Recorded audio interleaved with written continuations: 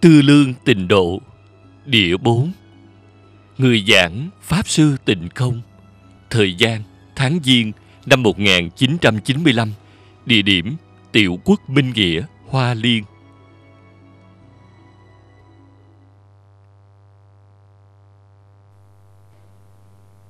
Tâm của chúng ta liền sẽ định lại. Chúng ta đích thực đã có được phương hướng có được mục tiêu, có được chủ tể cả đời này sẽ trải qua rất đầy đủ. Cũng chính là hạnh phúc chân thật, tự tại chân thật mà chúng ta thường nói.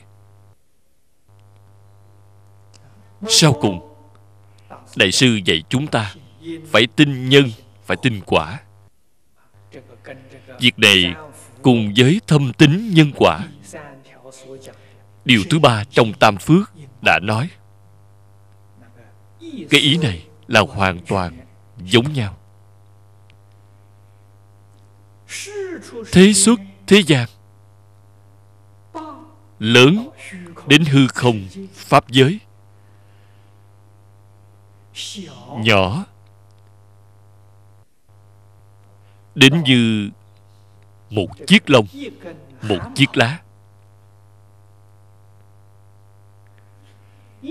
Phật đã nói, ở trên kinh lăng nghiêm, đều không rời khỏi quan hệ nhân quả.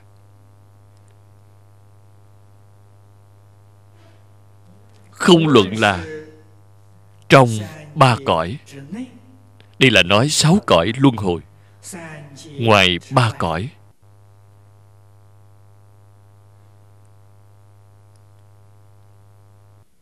Đều là nhân quả biến hiện ra.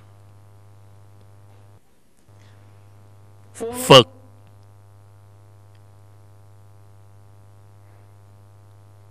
quy kết về tổng cương, chỉ thị chúng ta nhân thiện nhất định được quả thiện. Nhân ác nhất định có ác báo. Mà nhân và quả nếu như chúng ta hiểu rõ rồi vậy thì mười pháp giới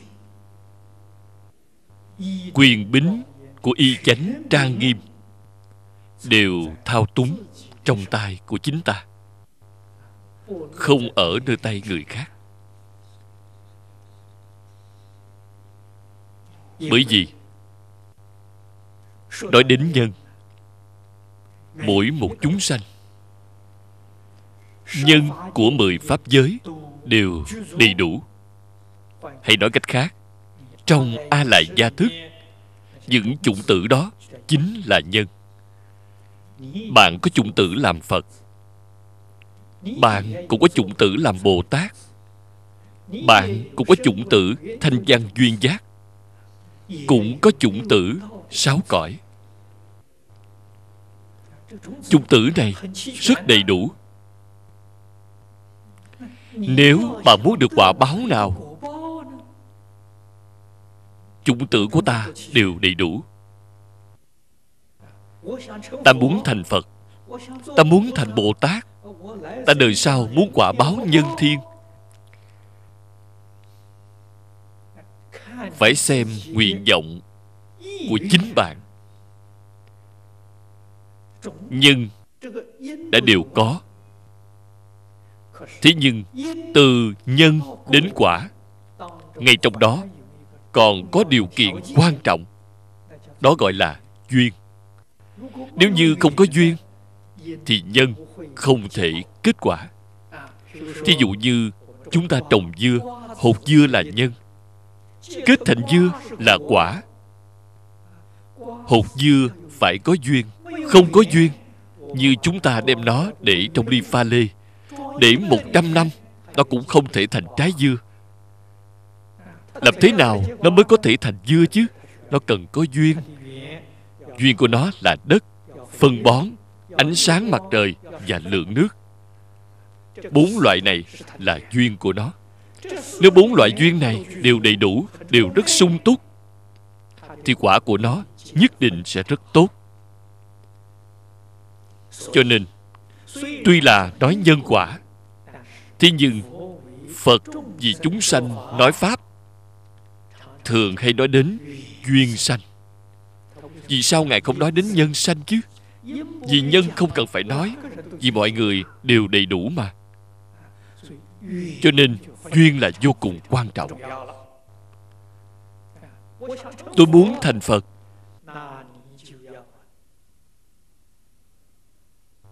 Bạn phải bồi dưỡng duyên thành phật. Duyên thành phật là gì vậy? Mỗi niệm đều tưởng phật đó là niệm phật. Trong lòng ta có phật rồi, cái này chính là duyên. Trong a la gia thức có chủng tử của phật. Hiện tại cái duyên đối với phật phải đặc biệt tăng mạnh. Cái kết quả sau cùng chính là quả thành phật. Việc này chúng ta nhất định phải hiểu biết. Nếu như chúng ta ham thích năm dục sáu trần thế gian. Trong lòng chúng ta tràn đầy tham sân si mạng. Mà khởi vọng tưởng muốn thành phật. Đây là nhân duyên quả không tương ưng. Bởi vì duyên của bạn không phải là duyên thành phật. Cho nên quả báo của phật bạn không thể đạt được. Thế nên trong lòng bạn hôm nay cái ý niệm này là duyên gì vậy? Là cái duyên của ba đường ác. Tham sân si mạng là cái duyên của ba đường ác. Cái duyên này chiêu cảm được là nhất định trong a lại gia thức của bạn là chủng tử của ba đường ác. Tương lai hiện ra cái quả báo này, chính là hiện tượng của ác đạo. Đây là xử lý nhân quả chân thật chúng ta cần phải tin tưởng. Một người chân thật thông hiểu, người thật sự tin tưởng, họ nhất định phải tu nhân thiện, bồi dưỡng nhân thiện, tương lai nhất định được quả thiện. Cho nên cái sự việc này, hà tất phải đi hỏi người chứ. Người ta chưa chắc gì biết được. Hỏi phật. Trong lòng có nghi hoặc, vậy mới hỏi. Không có nghi hoặc, hỏi làm gì?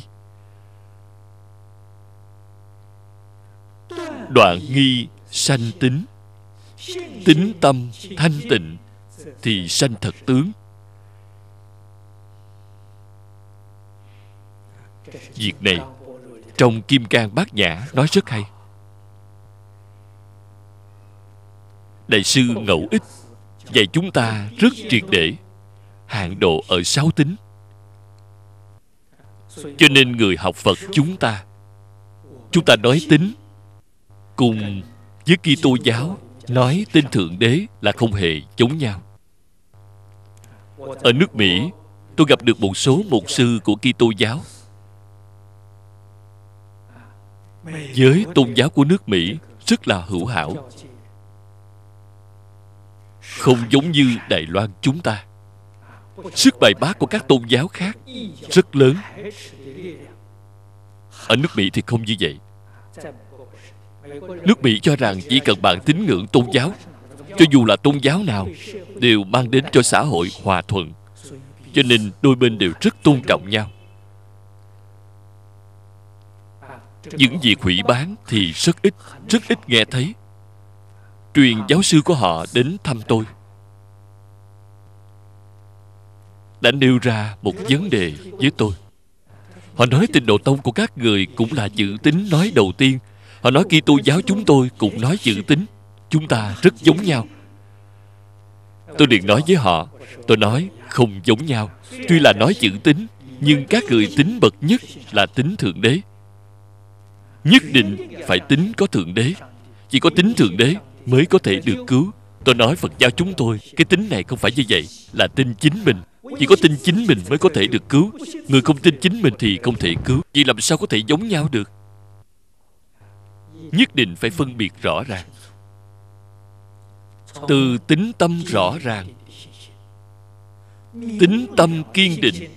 Có thể thấy được cái tính này không phải là mê tín, là đem đạo lý làm cho rõ ràng. Chân tướng sự thật làm cho rõ ràng cái tính này gọi là chánh tính, không phải là mê tín. Từ trong chánh tính, kiến lập tâm nguyện. Ta bằng lòng sanh về thế giới cực lạc.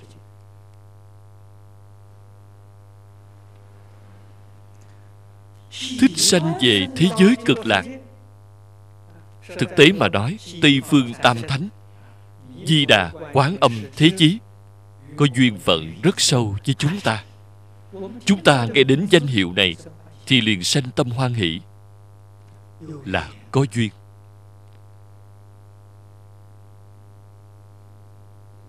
Sanh đến nơi đó thì có cái gì tốt vậy? Cái tốt thì quá nhiều.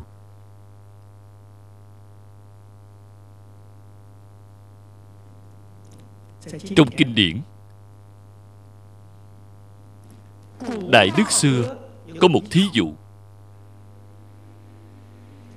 Ở vào thời đại tùy đường. Cao tăng của trung quốc, cao tăng của nhật bản, cao tăng của hàn quốc. Vào thời đại đó gọi là cao ly.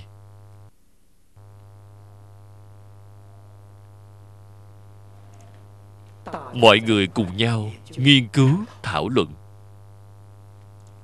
Thích ca mâu ni phật cả đời, nói pháp 49 năm giảng kinh hơn 300 hội. Nói ra nhiều kinh điển đến như vậy. Bộ kinh nào thì thứ nhất? Mọi người hợp tác lẫn nhau, cùng nhau nghiên cứu thảo luận. Gần như đều công nhận kinh hoa nghiêm là thứ nhất. Cái nhận thức này không hề sai. Kinh hoa nghiêm đích thực rõ ràng là khái luận của toàn thể phật pháp là một phật pháp viên mãn. Thế tôn vì sao nói ra tất cả kinh? Có thể nói đều là giải thích một câu nào đó trong kinh hoa nghiêm.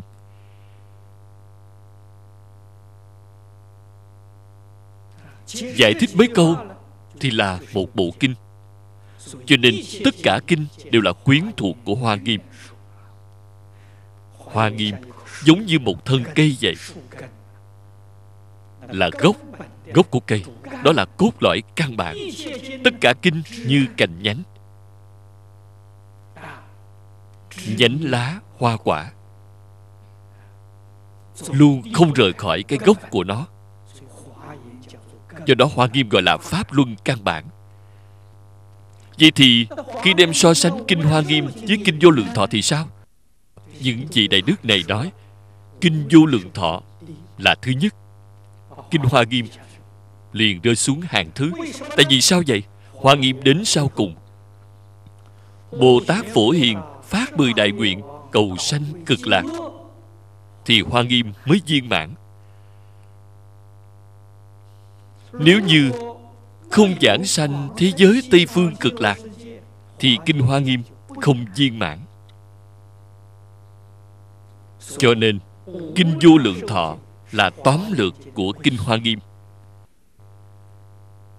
Đây mới nói rõ, kinh vô lượng thọ là trọng yếu. Nếu như nói, kinh hoa nghiêm là vua các kinh kinh vô lượng thọ là vua của các vua. Đây là lời tán thán của thế tôn ở trên kinh. Phật a di đà ánh sáng tối tôn là vua trong các phật. Có thể thấy được huệ nhãn của các tổ sư đại đức. Thật có thể nhìn thấy ra được.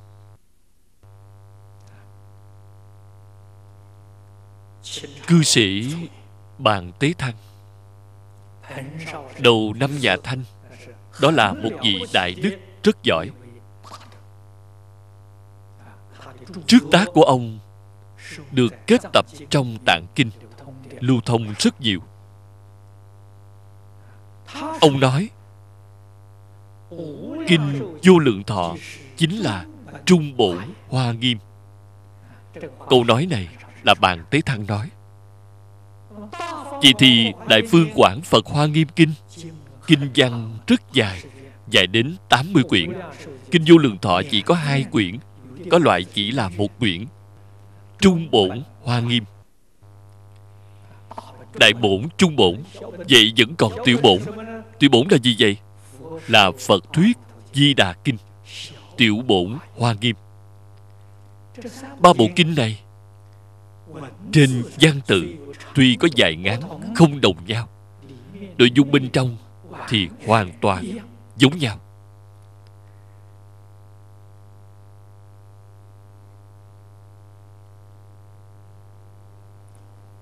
Thế là chúng ta mới hiểu rõ, pháp môn này của tịnh độ ở trong toàn thể phật pháp, nó chiếm một địa vị như thế nào vậy?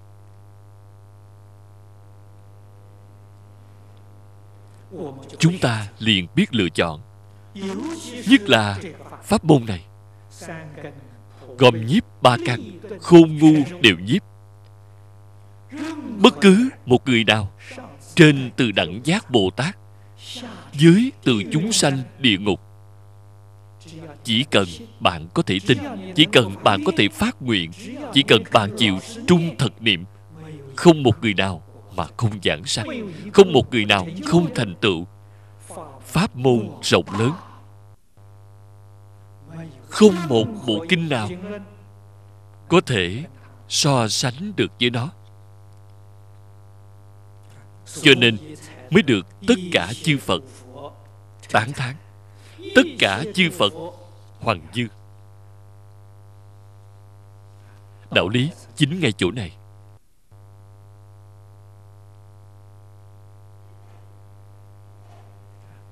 Vậy thì trước mắt chúng ta chọn lấy là quyển hội tập của ngài lão cư sĩ hạ liên.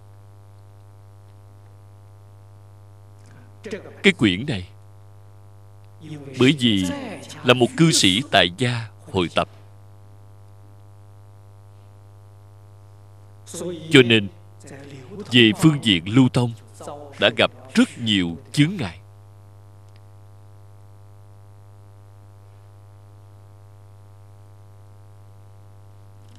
không chịu chấp nhận quyển này. Kỳ thật, loại chướng ngại này từ xưa đến nay đều có. Không phải ngày nay mới có. Như đại sư huệ năng lục tổ thiền tông được ngũ tổ truyền y bát, cũng là trong tông môn không chịu chấp nhận. Nghĩ cách tìm ngài để cướp lại y bác. Đến nỗi, lục tổ phải chạy đến trốn trong đám thợ săn. Ẩn tích mai danh. Phải trốn đến 15 năm.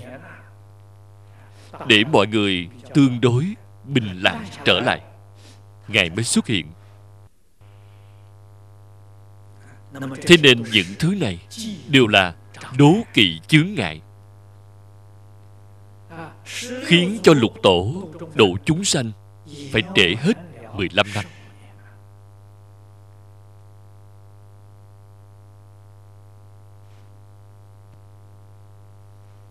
Bởi vì kinh vô lượng thọ là phật đã nhiều lần giảng giải. Mỗi một lần phật nói, nội dung cơ bản giống nhau. Do đó khi lưu truyền đến trung quốc. Nguyên bản của phạn văn thì không phải một loại. Thế nên phiên dịch ở trung quốc đích thực là rất nhiều. Từ hậu hán đến triều tống, khoảng 800 năm. Tổng cộng có 12 lần phiên dịch 12 loại bản dịch. Rất đáng tiếc, có 7 loại trong đó đã bị thất truyền. Hiện tại chúng ta ở trong một lục tạng kinh cổ đại, xem thấy đề kinh này. Kinh văn thì không tìm thấy. Hiện tại trong kinh tạng chỉ thâu tập có năm loại bản dịch. Đây căn cứ vào cách nhìn của đại đức xưa năm loại bản dịch này chỉ ít là có ba nguyên bản không giống nhau do đó chứng minh thế tôn năm xưa đã nhiều lần tuyên giảng. Vậy thì nếu như không thể đọc năm loại bản dịch, thì đối với nghĩa kinh này, bạn sẽ không hiểu được hoàn chỉnh, sẽ có khiếm khuyết. Nếu muốn đọc được năm loại bản dịch này, ở vào thời trước, thì dường như là việc không thể nào. Do đó, hội tập là vô cùng quan trọng. Hội tập lần thứ nhất là do cư sĩ dương long thư đời nhà tống, dương nhật hưu đã làm long thư tình độ văn. Long thư là địa danh. Ông là người long thư, người đời sau tôn kính đối với ông, không gọi tên của ông, cũng không gọi hiệu của ông, gọi nơi ở của ông. Đây là rất tôn kính nên gọi dương long thư. Cái nơi long thư này xuất hiện một nhân vật vĩ đại như vậy. Đây là tôn kính đối với địa phương này. Thế nên, bổn hội tập của ông làm gọi là đại a di đà kinh. Có thâu tập trong đại tạng kinh, lưu thông rất rộng. Đại sư liên trì làm sớ sao cho kinh a di đà bên trong vận dụng kinh văn của kinh vô lượng thọ, có thể nói là gần phân nửa, đều là nguyên văn của đại a di đà kinh. Có thể thấy được đại sư liên trì rất tôn kính đối với ông. Cư sĩ long thư hội tập kinh vô lượng thọ, chỉ thấy được bốn loại nguyên bản dịch vô lượng thọ hội trong kinh đại bảo tích, triều nhà đường. Bộ này, cư sĩ dương long thư chưa thấy qua. Đương nhiên, ông biết được. Vào thời đó, tìm kinh văn rất khó. Vào lúc đó, kinh văn đều là chép tay. Các vị đều biết bản chép tay thì số lượng rất ít. Lưu thông không rộng. Cư sĩ dương long thư dùng tài vật của ông, địa vị của ông, thân phận của ông. Muốn tìm bộ kinh này, cả đời cũng tìm không được. Bạn mới biết được, thời xưa tìm được một bộ kinh thật sự không dễ dàng gì. Do đó, phật ở trên kinh thường hay khích lệ chúng ta, phải đọc tụng, phải biên chép. Biên chép bạn viết ra một bộ thì thế gian này thêm được một bộ kinh lưu thông công đức này là vô lượng, vô biên. Hiện tại thì sao? Chúng ta không cần phải chép tay nữa. Kỹ thuật in ấn hiện tại rất là tiến bộ, rất là phát triển. Chúng ta in kinh lưu thông, công đức càng lớn hơn.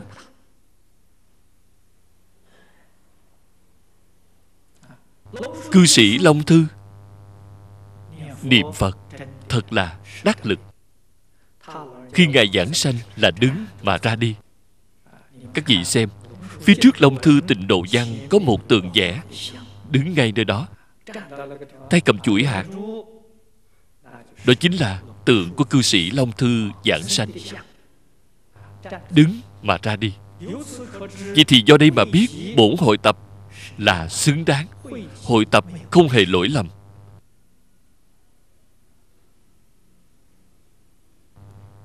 Tại vì sao phải bài trừ hội tập? Đây là một tâm lý không bình thường, đang gây hại. Chướng ngại lưu thông đại pháp.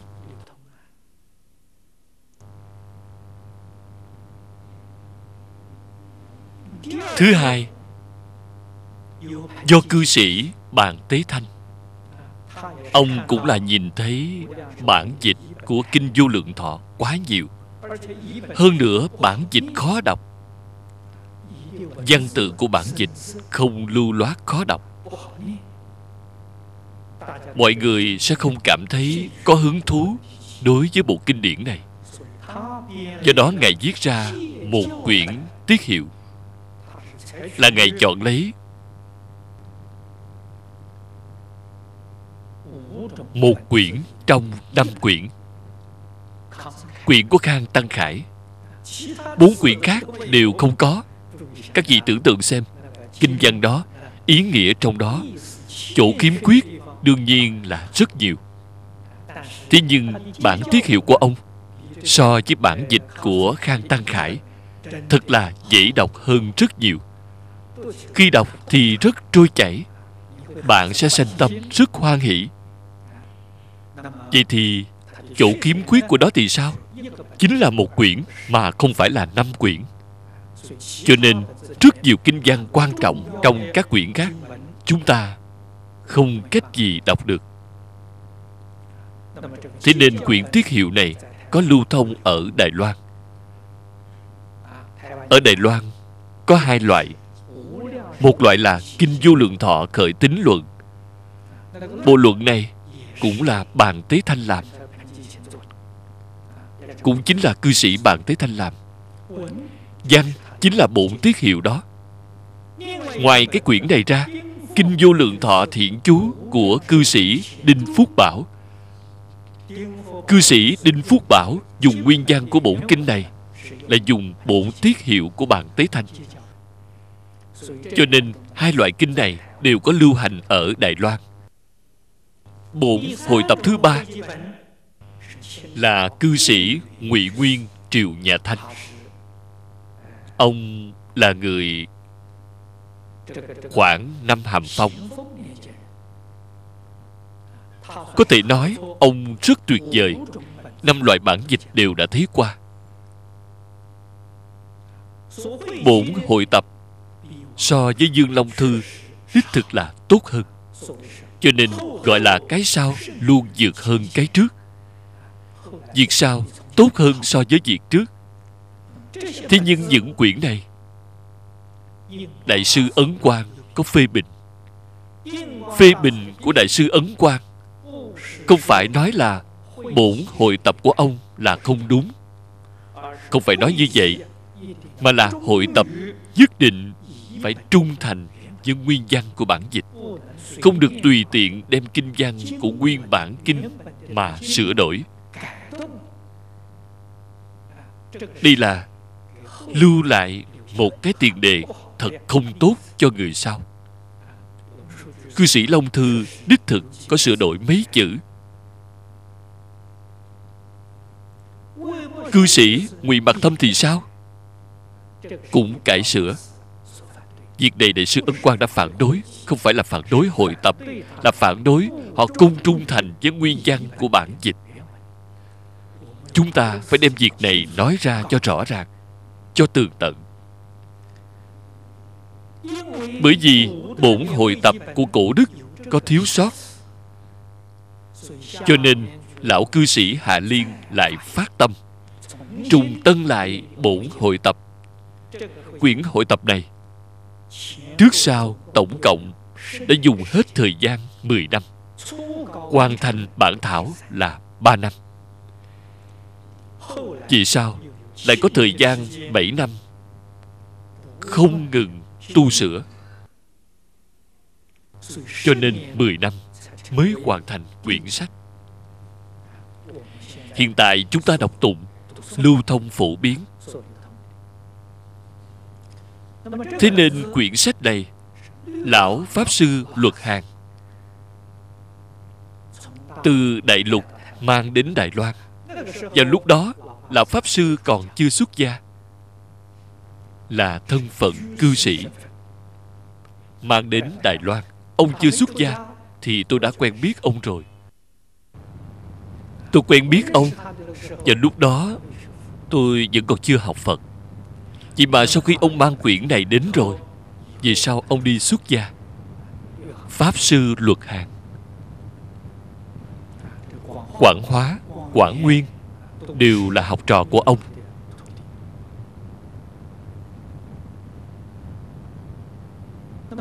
Vậy thì quyển sách này thì sao?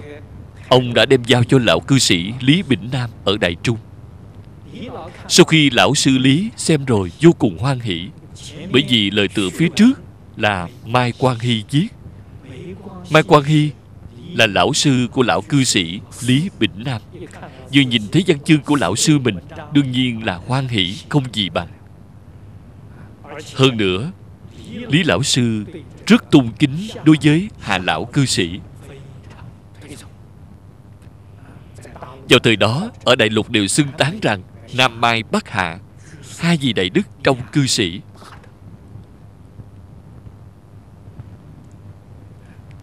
Cho nên, ngài liền bảo thư cục thụy thành đài trung đem nó phiên dịch in ấn. Hơn nữa còn ở chùa pháp hoa, giảng qua một lần. Lời phê bình trong cuốn mi chú của ngài chính là giảng lúc đó. Đây là vào năm dân quốc thứ 39 giảng qua một lần. Thế là từ đó về sau, ngài có giảng kinh vô lượng thọ qua mấy lần, mà không có dùng cái quyển này vọng quyền của khang tăng khải. Do nguyên nhân gì vậy? Vì có áp lực bên ngoài. Nói là cái thứ này là cư sĩ giết. Do có áp lực bên ngoài. Tôi đến đại trung, thân cận với lão sư lý, lạy xin vào môn hạ của ngài. Thế là không bao lâu, ngài đem quyển này giao cho tôi. Sau khi tôi xem rồi, vô cùng hoan hỷ là vào năm dân quốc thứ 50 Sức quan hỷ. Vào lúc đó tôi giảng kinh ở Đài Bắc. Tôi rất muốn giảng bộ kinh này. Vừa gặp lúc hàng quán trưởng chúng ta Mừng sinh nhật lần thứ 50 Tôi nói tôi giảng bộ kinh này để chúc thọ cho bà. Bà cũng rất là vui mừng, Nên liền in ra 3.000 quyển. Tôi đến Đại Trung báo cáo lão sư. Tôi nói tôi giảng bộ kinh này có được hay không? Lão sư lắc đầu nói, Không được. Tôi hỏi, vì sao vậy? Ngài nói, Nhân duyên của ông chưa chín mùi. Hiện tại không thể giảng. Ngài nói, đại bắc có rất nhiều lão pháp sư, lão cư sĩ. Nếu như họ ra mặt phê bình, thì ông gánh giác không nổi. Hiện tại tiếng tâm của ông vẫn chưa đủ không có cách nào, vì kinh đã in rồi. Kinh in rồi thì tặng người đi. Vì kinh này không thể giảng rồi. Tôi ở Đài bắc đổi lại giảng lăng nghiêm. Lại giảng tiếp một bộ đại kinh, thế là phải cất vào. Khi đã cất vào, thì đã cất qua rất nhiều năm. Mà đến lão sư lý giảng sanh. Quyển kinh này khi tôi tìm sách cũ, lại tìm ra được. Tôi nghĩ đến quyển sách này của lão sư, rất nhiều người có thể nói đều đã quên mất, đều không còn biết đến. Bản gốc ngay chỗ tôi, đại trung không có người thấy qua. Cho nên tôi liền đem nó in ra, làm kỷ niệm đối với lão sư. Cũng hy vọng nhờ công đức in kinh, tăng thêm phẩm vị giảng sanh của lão sư. Sau khi kinh in ra rồi, có rất nhiều người xem thấy xem thấy đều sanh tâm hoan hỷ yêu cầu tôi bắt đầu giảng bộ kinh này. Thế là ở trong nước, ở ngoài nước, bắt đầu giảng giải. Quả nhiên không sai. Pháp duyên thù thắng không gì bằng. Tôi nghĩ lại, pháp duyên này từ đâu mà ra vậy? Nhất định là phật a di đà chư phật như lai gia trì. Nếu không, mà nói làm gì có được pháp duyên tốt đến như vậy? Càng giảng, càng hoan hỷ. Càng giảng tính tâm của chúng ta đối với giảng sanh thế giới tây phương cực lạc càng mạnh mẽ. Đây là bộ kinh này xác xác thực thực là nhờ ân phật không những gia trì người chúng ta, mà gia trì kinh điển. Thế nên ở hải ngoại, hoàng chương bộ kinh này chỉ có một mình tôi cảm thấy rất cô lẻ vì sao ở nước mỹ? Trong khoảng tình cờ, gặp được lão cư sĩ hoàng niệm tổ, nên mới biết được ông ở trung quốc đại lục, cũng hoàng dương bộ kinh này, cũng chỉ có một mình ông. Lần gặp mặt này của chúng tôi rất là hoan hỷ thì ra vẫn còn có một người hoàng dương bộ kinh này. Cho nên tôi đến bắc kinh để thăm ông. Khi tôi vừa đến ở nơi nhà nghỉ, lão cư sĩ liền đến thăm tôi. Việc này trên lễ tiết là không đúng. Các vị phải nên biết, lễ xưa của trung quốc gọi là tọa khách không bái hành khách chúng ta là hành khách. tôi là khách đến bắc kinh. Tôi nhất định phải đến thăm hỏi ông trước. Ông không nên đến thăm hỏi tôi. Sau khi tôi thăm hỏi ông ông đến hồi đáp. Đây là lễ tiết. Vậy thì đúng. Tôi vừa đến chưa kịp đi thăm hỏi ông. Ông liền đến thăm hỏi tôi trước. Vượt qua cả lễ tiết. Việc này chứng minh cho cái gì? Quá khoan hỷ. Không đợi đến tôi đi thăm ông ông liền đến thăm tôi trước chúng tôi liền nói đến nhân duyên của kinh điển này. Ông là truyền nhân của hạ lão cư sĩ, là đệ tử truyền pháp của hạ lão cư sĩ, cũng là cháu ngoại của cư sĩ mai quang hy. Cho nên, đối với cái nhân duyên này rất sâu, ông biết được tôi là học trò của lão sư lý. Lý lão sư là học trò ông ngoại ông chúng tôi còn có cái quan hệ như vậy nữa. Do đó về sau qua lại càng mật thiết hơn? Thế là ông nói với tôi, quá trình hạ lão hội tập bộ kinh này không những thời gian dài, cư sĩ mai quang hy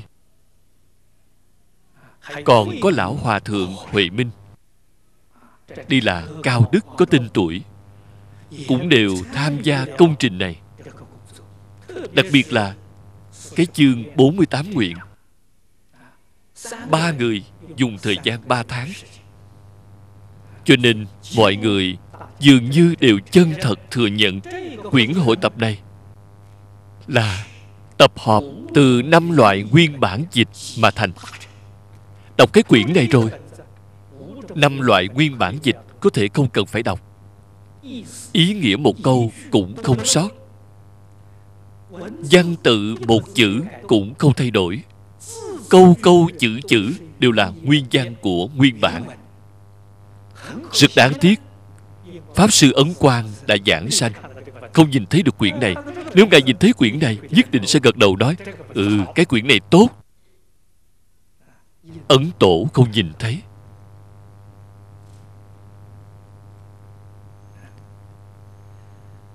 Thế là tôi ở bắc kinh, biết được lão cư sĩ có được rất nhiều cảm ứng điềm lành trong lúc hội tập. Thế nhưng ngài không hề nói ra, nhất định không hề nói cho người nghe. Cái điểm này rất đáng được tán thán. Không huyễn lộng chính mình, không khoa trương chính mình làm được rất cẩn trọng, rất có bổn phận. Khi tôi ở miami, nước mỹ diễn giảng, chính là quyển sách nhỏ nhận thức phật giáo mà gần đây các vị xem thấy. Ở miami diễn giảng, có rất nhiều người ngoại quốc đến nghe giảng. Lúc đó, có cư sĩ tăng hiến huy đảm nhiệm phiên dịch anh ngữ trong số người ngoại quốc, có mấy người có thần thông? Cư sĩ tăng hiến huy thích thần thông. Ông thích những thứ này. Ông hướng đến những người ngoại quốc này thỉnh giáo. Ông đem ra tấm hình của hạ liên cư. Cái tấm hình mà tôi in ở trên kinh đưa cho người ngoại quốc xem. Ông xem xem con người này như thế nào. Những người ngoại quốc có thần thông này, vừa nhìn vào tấm hình này liền cung kính nể phục họ nói con người này không phải là người bình thường. Toàn thân của ông là trong suốt. Do đó, tăng cư sĩ cảm thấy kỳ lạ. Làm sao có thể từ ở trên tấm hình thấy được con người này là toàn thân trong suốt? Họ nói, khi ông còn ở đời. Họ nói, hiện tại thì ông không còn nữa. Khi còn ở đời, không nổi tiếng lắm. Nhưng những gì đã nói đều là nói thật đây không phải là người thông thường. Hay nói cách khác, phải là phật bồ tát tái sanh. Nếu không mà nói, bạn xem lấy cư sĩ dương long thư. Bàn thiệu tăng, ngụy nguyên, đều là nhà phật học nổi tiếng. Đều không thể làm ra một quyển hoàn thiện tốt đẹp như vậy phải đợi hạ lão đến hoàn thành. Cho nên chúng ta đối với quyển kinh này phải có tính tâm. Phải chân thật, có thể khẳng định nó. Quyển kinh này từ sau khi đưa ra vẫn được hoan nghênh trên toàn thế giới. Khi hạ lão giảng sanh, có di chúc, lưu lại cho học trò của ngài. Ngài nói gì vậy? Quyển kinh vô lượng thọ mà ngài hội tập này. Tương lai là từ hải ngoại truyền đến trung quốc. Lúc đó họ nghe rồi, đều ngơ ngác, không hiểu gì. Không biết lão cư sĩ đang nói gì, mà hiện tại quả nhiên là như vậy. Từ đài loan truyền đến đại lục, từ hải ngoại truyền vào. Và lại còn nói, quyển kinh này tương lai truyền đi khắp thế giới, cho nên người đại lục hiện tại tin tưởng. Hiện tại dường như trên thế giới này, mỗi một quốc gia khu vực, quyển kinh này của chúng ta đều lưu thông đến. Đích thực là, quyển kinh này đã truyền khắp thế giới. Hơn nữa, sự lớn mạnh của nó đã vượt ngoài dự đoán của tôi. Bởi vì quyển kinh này chúng ta đã ra thời gian chưa đến 10 năm. Khi lão sư lý giảng sanh mới đưa nó ra mà. Không đến 10 năm tôi nhậm tính số lượng của quyển kinh này. Đã vượt quá 300 vạn cuốn. Đây là sức bảo thủ mà nhậm tính. Cho nên, bao gồm tất cả kinh luận phật pháp đại thừa, ở trong thời gian ngắn đến như vậy, có thể lưu thông số lượng lớn như thế, lưu thông đến toàn thế giới. Đây là đệ nhất kinh. Chưa hề có hiện tượng như vậy quả nhiên đúng như lời tiên đoán của hà lão cư sĩ. Giống y như lời của ông đã tiên đoán. Cho nên chúng ta phải tràn đầy tín tâm đối với quyển kinh này. Y giáo phụng hành. Nhận thức tình độ. Nhận thức y chánh trang nghiêm của thế giới tây phương. Chúng ta có nguyện vọng mãnh liệt, liền sẽ được sanh khởi sanh đến nơi tốt đẹp của thế giới tây phương cực lạc. Thứ nhất là trường thọ, vô lượng thọ. Thứ hai, nhờ bổ nguyện gia trì của phật, khiến phạm phu chúng ta một phẩm phiền não vẫn chưa đoạn, liền đề bạc đến a duy diệt chí bồ tát, từ thất địa trở lên. Chỗ tốt thứ ba ở thế giới tây phương cực lạc. Được phật đích thân giáo huấn. Chúng ta muốn cầu thiện tri thức. Phật a di đà là thiện tri thức đệ nhất. Một vị lão sư tốt như vậy, huống hồ mỗi ngày bạn còn có thể được giáo huấn của mười phương tất cả chư phật. Người của thế giới tây phương mỗi giờ mỗi khắc đến mười phương thế giới cúng dường chư phật nghe phật giảng kinh nói pháp. Trực tiếp nhận giáo huấn của tất cả chư phật. Do đó, họ không thể thoái chuyển.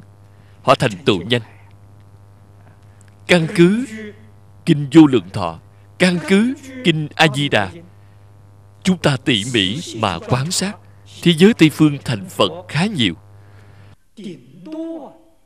Chỉ cần ba kiếp, bốn kiếp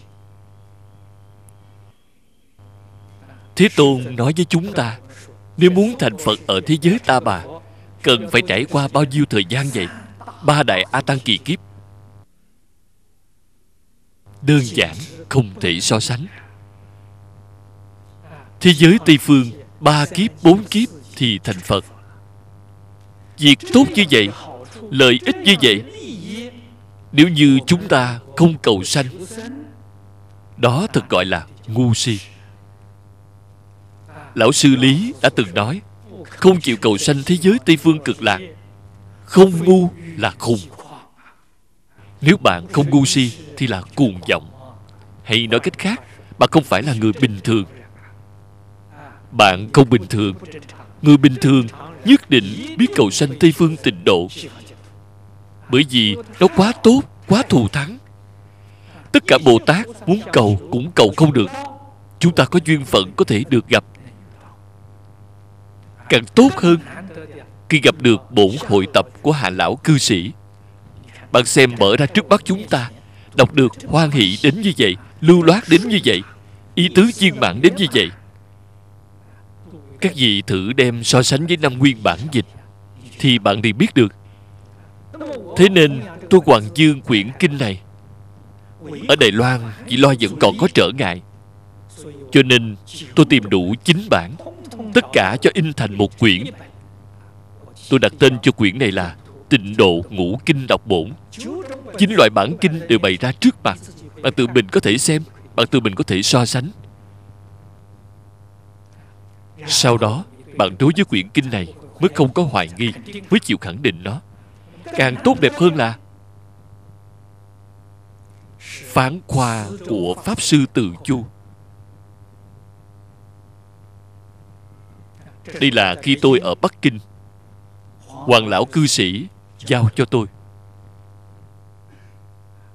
Việc này cũng là chư phật bồ tát gia trì. Chân thật không thể tưởng tượng ra được. Vào cái thời đại cách mạng văn hóa mà không bị đốt mất, vẫn còn giữ được phán khoa này. Tôi băng về đài loan.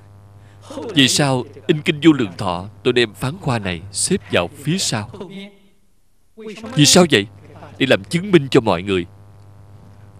Pháp sư từ chu ở đại lục giải hành tương ưng là một vị đại đức rất giỏi. Ở đài loan ngày còn có hai vị học trò. Hai vị học trò này đều không tệ. Một vị là lão pháp sư đạo nguyên, đã giảng sanh rồi. Lão pháp sư đạo nguyên là học trò của từ chu. Còn một vị nữa hiện nay vẫn còn, là lão pháp sư sám dân cũng là học trò của từ chu. Là thầy có hai vị đại đức này, đích thân làm phán khoa cho quyển hội tập của hạ lão cư sĩ. Hơn nữa, còn dùng quyển kinh của hạ lão cư sĩ vào năm đó ở tế nam giảng kinh vô lượng thọ. Vì quyển này còn có thể sai lầm không?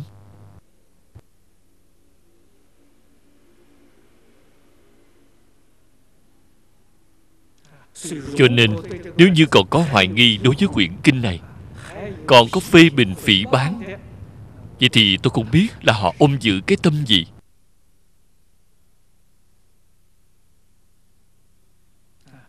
Y theo quyển kinh này, chăm chỉ mà tu học, được lợi ích ngay trong mấy năm gần đây. Chúng ta ở trong và ngoài nước thấy được rất nhiều người. Do đó, tính tâm của chúng ta rất là kiên định nhất định phải phát nguyện cầu sanh tịnh độ. Cho nên nguyện lực này là vô cùng quan trọng. Đại sư ngẫu ích đã nói qua, có thể giảng sanh không? Nhất định ở tính nguyện có hay không? Phẩm gì cao thấp, nhất định ở công phu niệm phật cạn hay sâu vậy thì cho đây mà biết tính nguyện là vô cùng quan trọng hành chính là trung thực niệm phật. Bồ tát đại thế chí dạy chúng ta gom nhiếp sáu căn tình niệm liên tục. Chúng ta phải chăm chỉ phụng hành. Ở trong thường ngày, đối với người với việc với vật, trước khi chúng ta vẫn còn chưa giảng sanh, cái thân này vẫn còn ở thế gian. Những việc dụng vặt thế gian, chúng ta không thể ly khai phải dùng thái độ thế nào vậy? Nhất định tuân thủ tam phước, sáu phép hòa, tam học, lục độ.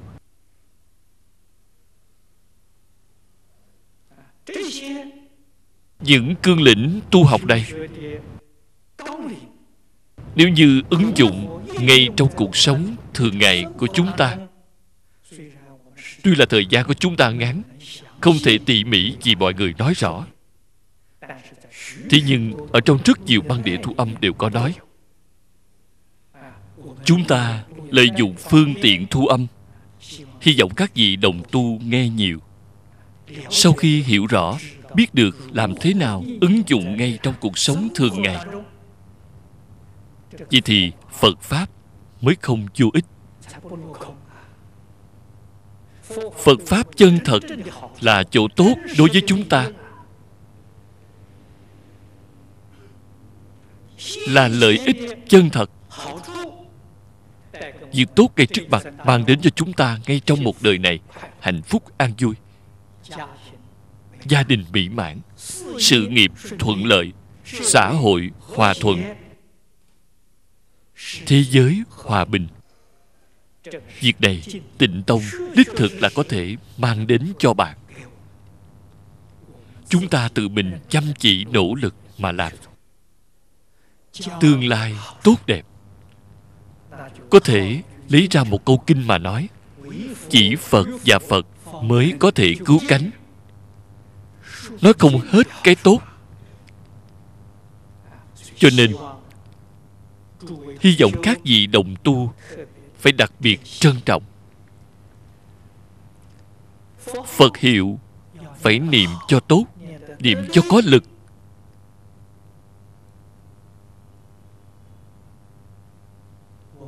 Ở trong lúc giảng kinh, chúng ta cũng thường nói đây là yếu lĩnh, phải không hoài nghi, không xen tạp, không gián đoạn.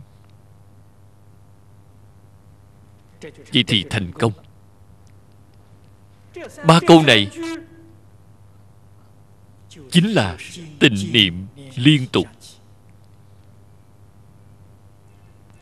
Đồng tu tình độ chúng ta rất nhiều. Thế nhưng, những tín ngưỡng kiên định không nhiều.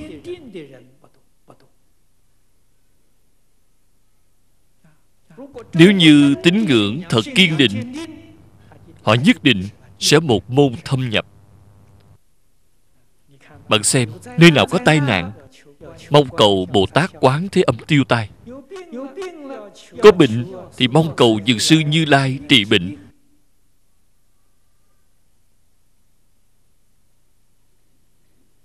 Đây chính là hoài nghi. Tính tâm không thanh tịnh. Hoài nghi cho rằng một vị phật bồ tát quản một việc. Cho nên bình thường, nếu là đắc tội những vị phật bồ tát này đắc tội với phật dược sư, có bệnh thì hết người cứu. Đắc tội với bồ tát quán âm thì không có người thay ta tiêu tai. Chúng ta có vọng tưởng, có phân biệt, có chấp trước. Thế là tính tâm của chúng ta liền không thanh tịnh. Đây là chướng ngại sự tu hành của chúng ta rất lớn. Ngoài ra, một chướng ngại lớn nữa là xen tạp những thứ xen tạp thì quá nhiều. Thí dụ bạn nói chúng ta học phật. Chúng ta đối với phật bồ tát yêu cầu quá nhiều thứ. Vừa yêu cầu công danh vừa yêu cầu phú quý vừa yêu cầu trường thọ lại yêu cầu con cái. Hey, cầu thăng quan phát tài cầu được quá nhiều là xen tạp. Ngoài những thứ này ra, ở trong phật pháp cũng xen tạp. Do đó, mọi người xem ra, dường như rất dụng công, rất tinh tấn. Thực tế ra mà nói, cái đó không phải gọi là tinh tấn, gọi là tạp tấn, loạn tấn. Tạp loạn tâm tu hành không tương ưng, nhất định không thể thành công chỉ có thể trong a lại gia thức trồng xuống hột chống phật. Không thể có thành tựu. Thành tựu phải tinh tấn. Tinh là thuần mà không tạp. Một môn thâm nhập, đó gọi là tinh tấn. Kinh. Tôi chỉ đọc một bộ. Phật hiệu, tôi chỉ trì một vị. Đây gọi là tinh tấn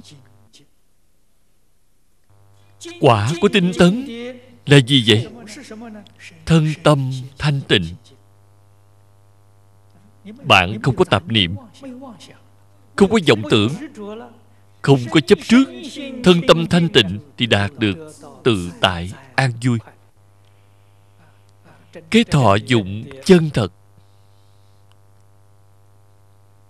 liền hiện tiền. Cho nên từ trước, như tiên sinh đông phương mỹ đã nói, học phật là hưởng thụ cao nhất của nhân sanh. Bạn thật đã đạt được. Hưởng thụ cao nhất, đích thực bạn có thể đạt được. Hưởng thụ cao nhất chính là thân tâm thanh tịnh.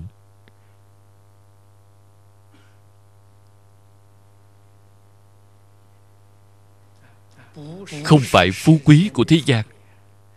Phú quý của thế gian không phải là hưởng thụ cao nhất. Nó có rất nhiều đau khổ. Do đó, các vị phải nên biết, người bần cùng khổ, người phú quý còn khổ hơn người bần cùng. Các vị tỉ mỉ nghĩ lại xem, còn khổ hơn. Vẫn không tự tại. Đây là thế gian khổ. Chỉ riêng phật pháp có thể giúp chúng ta lìa khổ được vui. Đây là cái vui chân thật. Cho nên, tính nguyện hạnh. Hạnh ở đây chính là trung thực niệm phật. Không cần hỏi nhiều. Có rất nhiều người tìm tôi. Họ nói, tôi có rất nhiều vấn đề muốn thỉnh giáo pháp sư. Nhưng vấn đề của bạn tôi thấy đều biết rồi. Là vấn đề gì vậy? Nghĩ tưởng sằng bậy là ngay trong lúc tu hành, nhất định có chướng ngại. Tất cả buông bỏ. Phải nhìn thấu, phải buông bỏ. Buông bỏ, phân biệt, chấp trước vọng tưởng, tạp niệm, hư vọng của bạn. Buông bỏ bao gồm tất cả nghi vấn của bạn. Không hoài nghi không xen tạp, không gián đoạn. Không gián đoạn cũng không phải là một việc dễ dàng. Vậy thì các vị phải biết, niệm phật, niệm từ nơi tâm.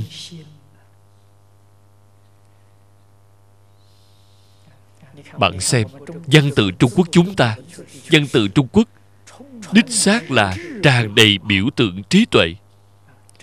Cái chữ này là chữ hội ý, bảo bạn thể hội cái ý nghĩa này. Bên trên là chữ kim, bên dưới là chữ tâm. Cái ý nghĩa này là gì vậy? Hiện tại trong tâm tôi đã có. Cái này gọi là niệm. Không ở trên miệng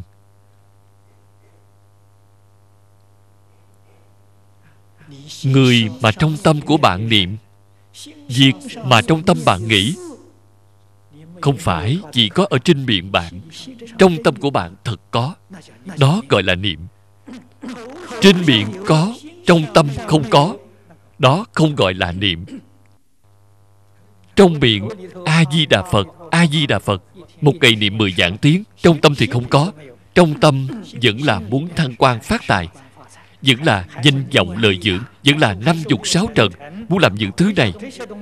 Niệm phật phật bồ tát bảo hộ ta thăng quan phát tài, làm những việc này thì không gọi là niệm phật. Việc này, như người xưa đã nói, đau mồm rác họng chỉ uổng công. Phải thông suốt đạo lý này. Năm trước, khi đón năm mới có một vị lão cư sĩ đến thăm tôi. Nói với tôi, pháp sư à tôi niệm phật đã niệm hết ba năm rồi. Vọng tưởng phân biệt vẫn còn rất nhiều, công phu không được đắc lực, phải làm sao? Tôi liền nói với ông ấy, cứ trung thực mà niệm, thân tâm thế giới, tất cả buông bỏ. Ông nói với tôi, Pháp Sư, Mọi thứ tôi đều buông bỏ, Chỉ có cháu nội không thể buông bỏ. Có thể thấy được, Ông tuyệt nhiên không có niệm Phật. Ngày ngày nhớ cháu nội. Ông không có niệm. Ông niệm là Phật A-di-đà, Mà trong lòng thì nghĩ tới cháu nội. Bạn nói xem, Vậy thì còn cách gì đây? Như vậy thì không thể tương ưng. Cho nên tôi liền nói với ông Ông đem cháu của ông đổi thành Phật A-di-đà, Thì ông liền thành công. Tôi dạy cho ông một phương pháp. Trong tâm, Chân thật có. Chân thật có Phật trong tâm. Chân thật thường nghĩ đến thế giới cực lạc. Không nên nghĩ tưởng sàng bậy Nghĩ cái gì Thì bạn phải ghi nhớ. Đều là tạo ra sáu cõi luân hồi. Chỉ có nghĩ thế giới Tây Phương cực lạc Mới có thể siêu diệt sáu cõi luân hồi, Giảng sanh tịnh độ, Một đời thành Phật. Đây là việc vô cùng quan trọng.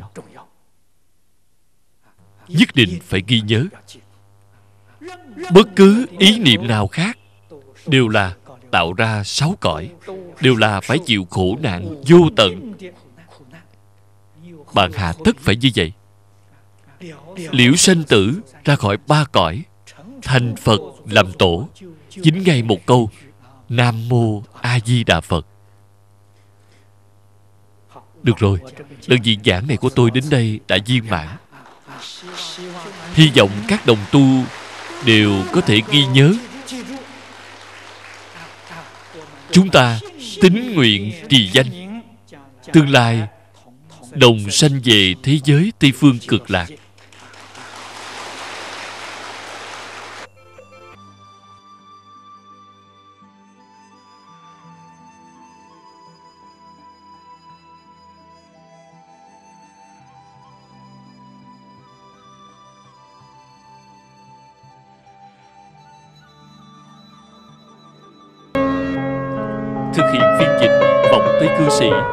Thoại 0913 520031 Người đọc Phật tử Quảng Tâm Từ Dư Chiếu.